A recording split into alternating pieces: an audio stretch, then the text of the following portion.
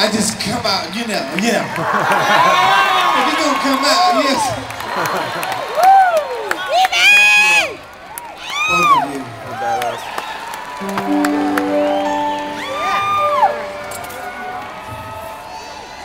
I want to share with you some some moments, some moments in my life, some things that you may have heard me talk about or may never have heard me talk about. And that is just the experience of, of listening to music for the first time. Hearing the sounds come out of this little thing they call the radio. and the amazing thing is, I would ask my mama, I say, Ma, how does people get in there? I say, it's like magic. That's the radio, baby. I say, no, but all the people are in there. They're talking, everything, music, and guitars and drums. And it's still magical to me.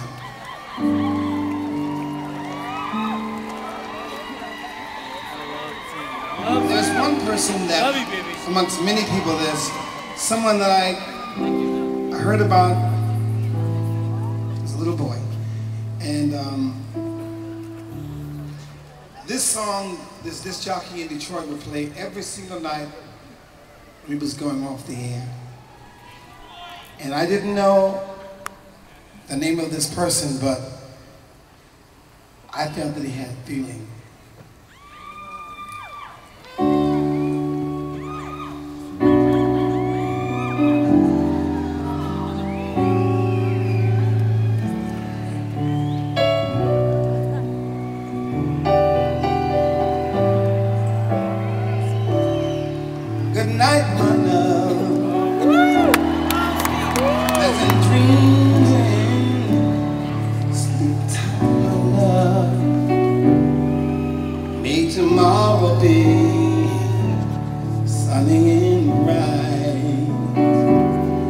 And bring you closer to me.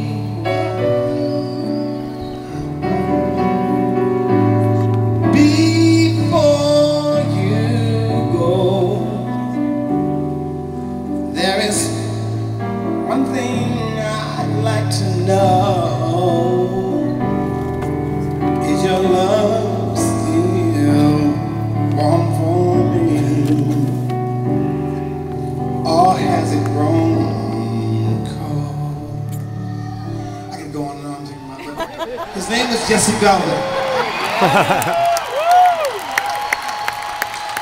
And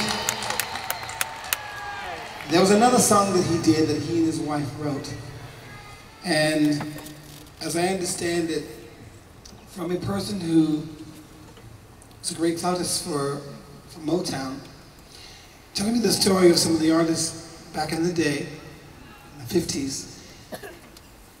He had said that they were, he and his wife, and I guess his uh, assistant, a bodyguard, or whatever, back in the day, and um, the driver were traveling through some part of the South. And the unique thing about Jesse Belvin was he was one of those artists that his love songs brought people together. They would come together and dance together, even though it was a segregated theater where it was no blacks and whites could be together in the same place, same moment. Stupidness. And his songs just brought people together, singing and celebrating and dancing. And so the word as I got was that there was a threat that said if that nigga would have anybody come together at that show that night, he would be killed. And supposedly his tires were slashed and um, he and the other car people were killed in a horrible accident. That's why we have to continue to spread love.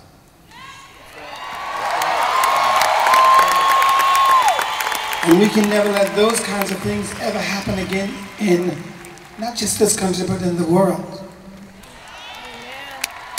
And in saying that, I wanted to say have a moment right now of silence for those that were killed in Norway.